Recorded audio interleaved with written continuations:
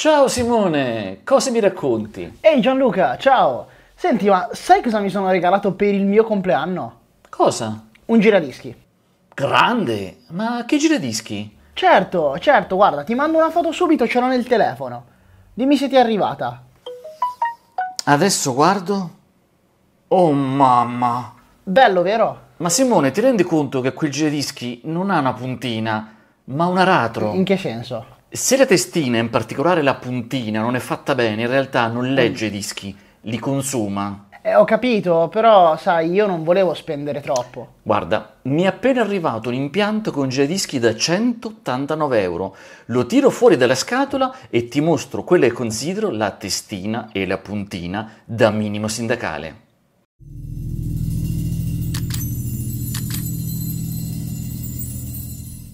Eccomi qui, il solito fuori dalle scatole, in ginocchio, sì lo so, la testa spesso da fuori, ma lo scatolone di questo Wooden Wireless Turntable Converter, questo sistema hi-fi che si basa su un giradischi e con dei diffusori con la finitura in legno che hanno anche il wireless, ovvero accettano connessione Bluetooth, che lo si vede sul bordo superiore.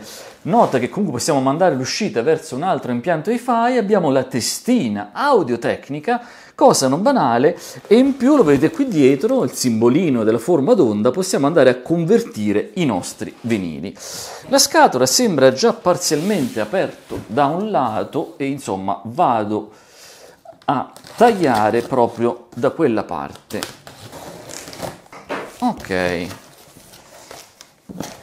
abbiamo la scatola nella scatola, effetto matriosca. Vediamo se riesco a tirare fuori tutto senza fare danni, che è la cosa sempre più difficile. Ok, abbiamo una scatola, voilà, due scatole, una più grande e una più piccola. E quindi si ricomincia. L'alto e il basso è indicato assolutamente. Qui almeno c'è un'etichetta. Finalmente cominciamo a vedere un po' di imballo e sì, qui c'è proprio il giradischi. Abbiamo l'alimentatore che è di tipo switching, riesco a leggere i dati di targa uh, 1,5 A 15 volt, no, 15 volt 3 A, quindi 45 watt, quindi alimentatore switching. Abbiamo nella busta, presuppongo, un po' di manualistica che è in varie lingue dove, udite, udite, c'è anche l'italiano. Installazione del software, collegamento dei diffusori, sì, fa sempre piacere trovare la manualistica in italiano. Troviamo i cavetti RCA di qualità economica, connessione USB di tipo AB una cinghia, un adattatore per 45 giri in plastica e una sfera metallica. Poi vedremo, poi c'è anche un CD con il software per la cattura dell'audio. Ma vediamo un po' questo giradischi, è molto leggero a sensazione. Sì, effettivamente sì. Vediamo tutta la busta intorno. Eccolo qui. Però la testina audio-tecnica, non so se la vedete qui in trasparenza, c'è ma poi lo vediamo dopo. Quindi per adesso sono l'inquadratura questa situazione, ma c'è un altro scatolo che dovrebbero essere di logica i diffusori. Anche qui c'è giustamente dell'imballo ed eccoli i diffusori. Come li prendo? Ok. Un diffusore vedo con il cavetto già economico già comunque collegato all'interno. Noto con piacere un dettaglio, ne parlavo nel video dedicato ai diffusori della Yamaha, l'impianto quello da 300 euro che vi rimetto qui sopra, che quando trovo i piedini già montati è una cosa che comunque mi fa piacere. È un minimo di attenzione invece che fornire i classici adesivi che poi magari uno non li posiziona bene. Eccoli qui, questa finitura in legno, ma dopo vedremo meglio. Le griglie sono rimovibili? Penso di sì, ma belle dure. Ok, le tele parapolvere effettivamente con un incastro durissimo, ma se riusciamo a vedere la struttura a due vie. Ma adesso sì, cambiamo inquadratura, andiamo a vedere tutto più da vicino. Primo dettaglio voglio farvi vedere è il sotto del giradischi, che si nota un particolare interessante che c'è un grosso perno di ottone su cui dovrebbe appunto ruotare quello che è il piatto del giradischi, cosa che si apprezzano, tre punti d'appoggio, cosa originale anche se i piedi sono abbastanza rigidi, quindi non andranno ad assorbire le vibrazioni e non sono regolabili, quindi dobbiamo trovare noi un ripiano d'appoggio che sia perfettamente in piano e tutto il box che poi vedremo in dettaglio che contiene tutta l'elettronica. Ma adesso passiamo al sopra. Ecco la vista dall'alto dove si riesce a notare il marchettino Digit Now che è la marca, la cappa eh, che è di materiale, secondo me non è plexiglass, è più plastica, infatti è già graffiata, arriva già graffiata di serie e attenzione che la maggior parte delle cappe si bloccano grosso modo in questa posizione sui giradischi ben più costosi. Qui la cerniera è libera, quindi si apre diciamo di circa 120 gradi verso il retro, quindi se voi andate a collocare con una parete qui dietro, attenzione, servirà un gommino, un filtrino o sulla cappa o sulla parete, altrimenti ci sbatterete e andrete a rovinare. Rimuoviamo questo imballo sulle istruzioni dice che dobbiamo montare quelle praticamente che sono la cinghia e questa sferetta, ma io ho già sbirciato, abbiamo il feltrino, ottimo, un piatto in materiale metallico e bello pesante, non è male, e qui sotto vedete abbiamo la parte che ruota con la cinghia già montata. E se uno volesse andare a prendere e montare quella sfera, quindi abbiamo una seconda cinghia di cambio e la sfera, se ben capito, dovrebbe essere collocato in quel pozzetto di ottone che abbiamo già visto sul retro. Bello già ingrassato con il lubrificante, ma siccome è già presente non dobbiamo farlo. Cambiare le cinghie è semplice perché va messo su questo perno, che è il perno del motore, va messa tutto intorno e dovremo soltanto accertarci che sia sempre perfettamente piatta, ovvero non vada mai a incrociarsi. Se dopo qualche giro effettivamente la vediamo sempre scorrere perfettamente, è a posto. Ma adesso passiamo a parlare del braccio. In effetti, una delle caratteristiche più interessanti di questo impiantino è che il braccio del giradischi sì è di materiale plastico, però è ben realizzato e soprattutto al contrappeso, quindi vuol dire che la testina è già molto interessante di serie, che l'Audio-Tecnica T3600 euro, una testina che da solo vale 20-30 euro, quindi il 10% di tutto questo impiantino, però comunque possiamo sostituirla con una di migliore qualità andando ad aggiustare appunto il bilanciamento del braccio avendo il contrappeso regolabile. Attenzione, non c'è l'anti-skating. Comunque, sulle istruzioni dice che di serie è già stato regolato, quindi andiamo a rimuovere la fascetta che lo blocca, andiamo a togliere il coperchio della puntina, mi armo della mia bilancina di precisione e vado a fare un controllo. Allora c'è da dire che la T3600L è una testina un po' strana perché non si trova sul sito dell'audiotecnica qual è la tracking force, la forza di tracciamento da dover impostare, però si trova in generale sui negozi online, vedete su questa pagina è dichiarata da 2,5 a 3,5 ed effettivamente qua sopra lo vedo grosso modo impostato su 2,4, ma andiamo a verificarlo. Questo acceso, sì, l'ho spento in realtà, adesso lo riaccendiamo. Aspettiamo che vada a zero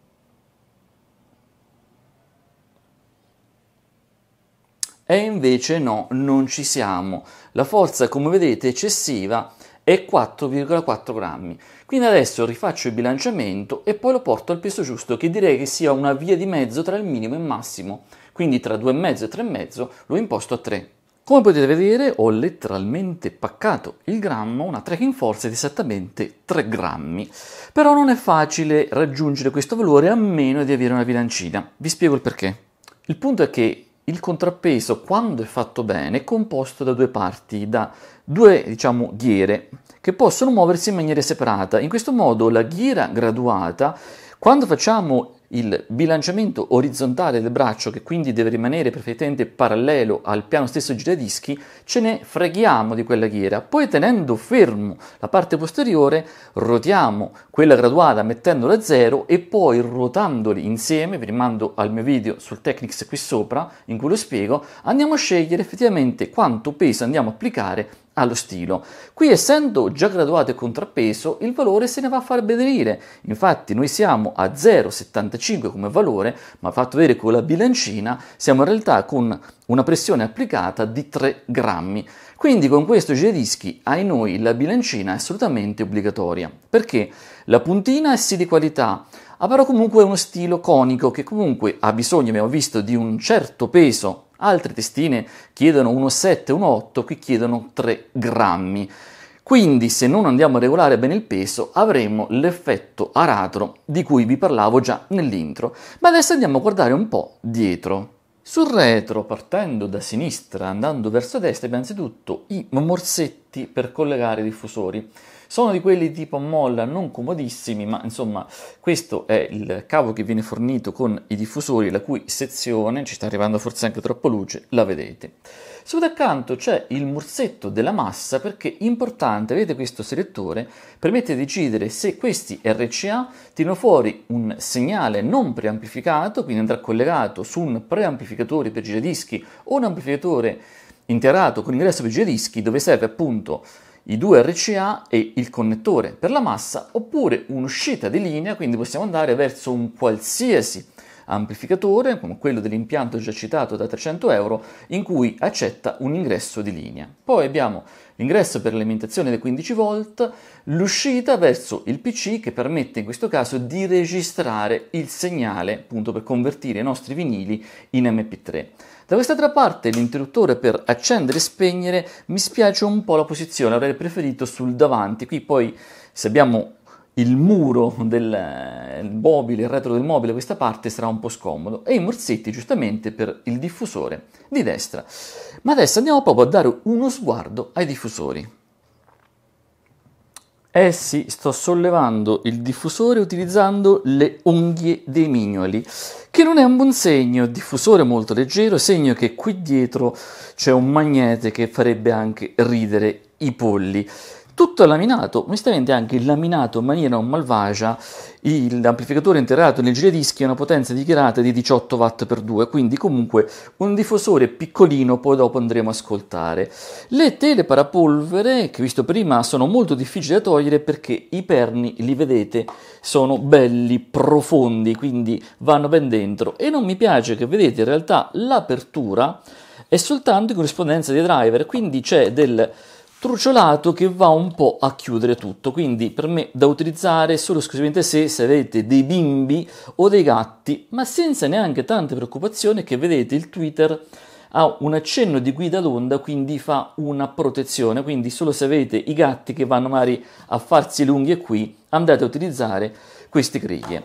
Per il resto, mobile molto semplice, abbiamo già visto prima durante la fase fuori dalle scatole che il cavo è direttamente filato all'interno e ha uno sbocco reflex strano perché è molto molto profondo e arriva praticamente a sbattere quasi con quello che è il retro del Twitter. Forse riesco a farvi vedere, eccolo anche in leggero controluce. Ma adesso è arrivato il momento di mettere tutto insieme e vedere come funziona anche la parte wireless. Pronti, cavo di alimentazione collegato, tra l'altro cavo di alimentazione un po' troppo cortino per i miei gusti, serve assolutamente una prolunga. Diffusori collegati, andiamo ad accendere appunto con il tasto ben nascosto dietro. Vedete che appena si accende c'è questa bella lucina blu intorno alla manopola del volume in plastica e si accende la lucina rossa in corrispondenza di fono, ma io voglio andare sul Bluetooth. Quindi premo Mode e Bluetooth inizia a lampeggiare. Prendo il mio cellulare, vado su ricerca ed ecco che vedo la voce Turntable, giradischi. Andiamo a collegarci. Richiesta associazione associa. Si è sentito uno schiocco e adesso la luce su Bluetooth non è più lampeggiante veloce ma fa due lampeggi rapidi alternati. Andiamo a prendere la mia solita musica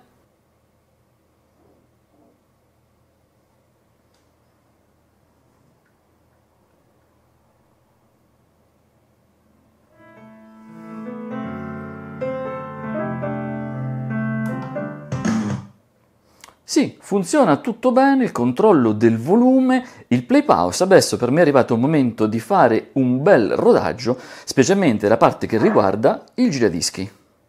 Cambio di stanza in casa Bocci perché ho deciso di fare il rodaggio nella mia camera da letto. Innanzitutto perché mia moglie può sfruttare il Bluetooth, Bluetooth che funziona benissimo, anche se ci allontaniamo continua a funzionare e quindi mia moglie si può godere le sue playlist su Spotify. Poi seconda cosa, il vinile sapete quando gira e crea quell'atmosfera? Ci siamo capiti, si scherza. Comunque effettivamente anche un giradischi funziona molto bene, ha l'avvio automatico, quindi il braccio inizia, il piatto scusate, inizia a ruotare appena portiamo il braccio verso il centro e c'è anche lo stop automatico, quindi in realtà il disco si ferma appena arriviamo vicino all'etichetta, senza far andare la puntina sull'etichetta che sappiamo è una cosa poco piacevole. E il suono com'è? Beh, per farvelo capire iniziamo con un ascolto di prova dei Loose, quindi del sano buon rock vecchia scuola.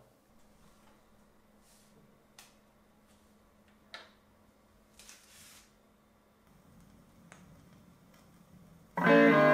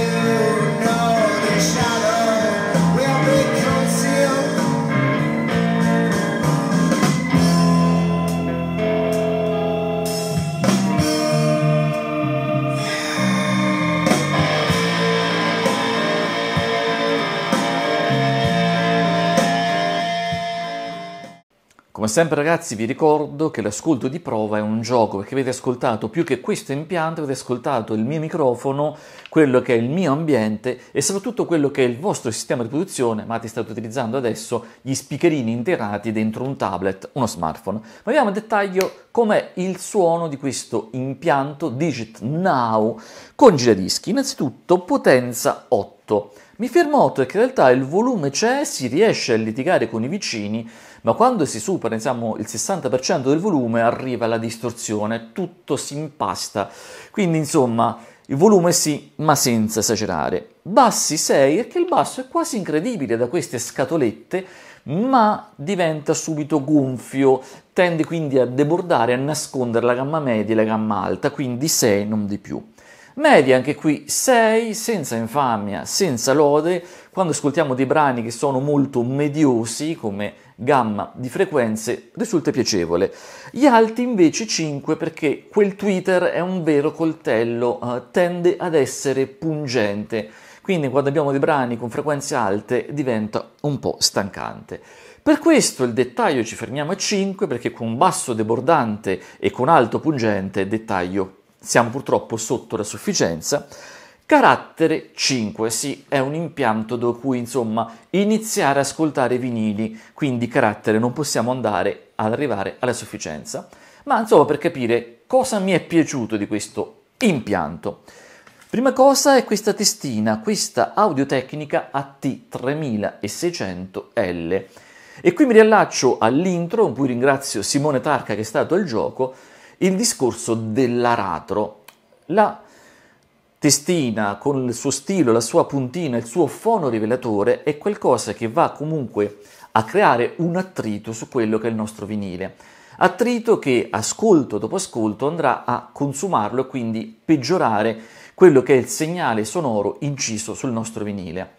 Quindi avere una buona puntina, una puntina che posso anche sostituire con il giusto peso applicato, è una cosa fondamentale. Quindi tanti di voi che mi chiedono, Gianluca, ma voglio spendere poco, che di prendere? Senza andare in dettaglio, almeno cercate che sulla testina ci sia il marchio di un'azienda nota come Audiotecnica. Questa è la garanzia che almeno una testina da 20 euro che non vada a danneggiare la collezione di vinili che state iniziando a costruire vada a farsi benedire.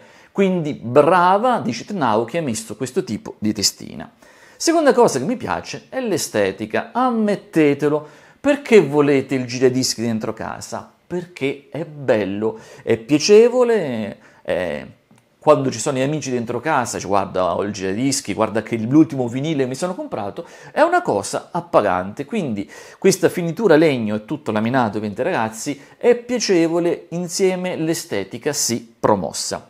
Mi piace il fatto che ci sia il Bluetooth, un Bluetooth che funziona bene, che tiene bene il segnale, che si aggancia subito appena accendiamo tutto l'impianto, insomma ci permette di goderci l'ascolto mentre magari stiamo costruendo la nostra collezione di vinili, perché ci compriamo questo impiantino, compriamo due vinili e se ci fosse solo il giradischi, eh, insomma, ascolti sempre solo quei due vinili. Invece il Bluetooth, metti su, non so, Spotify, metti su Radio Freccia in streaming, insomma, ti puoi comunque godere l'ascolto non solo coi vinili. Quarta cosa, è comunque godibile, sì è limitato, ci sono molti compromessi, li vediamo tra poco, ma comunque non è che sia un ascolto, uh, ti metti su, metti su un vinile e ti godi comunque la musica. Ultima cosa, che poi forse è quella più importante, il prezzo.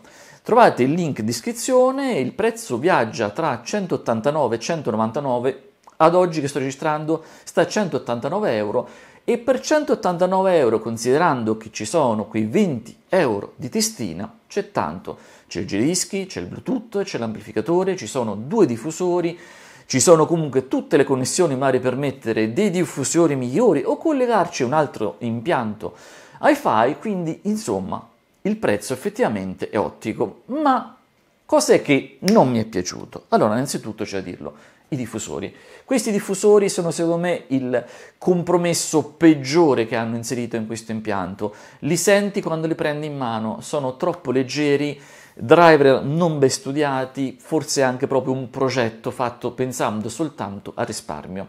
Secondo me se uno prende l'impianto, quello con i diffusori LOMPU, o meglio i diffusori LOMPU, ve li metto qui sopra e li colleghi qui, già cambia tutto dal giorno alla notte. Seconda cosa che mi spiace, sì, ottimo avere la testina audiotecnica, ma innanzitutto il contrappeso è fatto male, non ha le due parti che sono fondamentali per andare a fare, utilizzando il contrappeso, un, applicare un peso bene messo sopra. Quindi diventa indispensabile la bilancina che costa poco, però insomma quegli altri 20 euro li dobbiamo andare a spendere solo per la bilancina. E dà anche fastidio le istruzioni, perché le istruzioni dicono che innanzitutto alcune cose dovremmo montarle, come la cinghia e quella sfera, invece no, sono già montate, ma poi ci dicono guarda che il braccio è stato già regolato, invece no. Quando mi dici che è regolato, poi vedo che ha più di 4 grammi applicati e quello è sempre il famoso effetto aratro che abbiamo detto più volte. Quindi questi sono i due problemi più gravi. Poi c'è anche da dire che per risparmiare non hanno messo l'anti-skating, quindi questo già potrebbe essere un problema. Hanno messo delle cerniere della K molto economiche che in realtà sbattono contro la parete dietro perché non si fermano quando sta in verticale come dovrebbe. Hanno messo il cavo di alimentazione è troppo corto, ma potremmo dire anche problema sono i cavi in generale. I cavi diffusori sono davvero leggerissimi e saldati dentro, quindi sostituibile. E infine, questo magari è un dettaglio, ma l'interruttore messo dietro è scomodissimo, dovrebbe essere davanti o sopra, in modo che senza andarlo a cercare con la mano dietro lo trovo subito.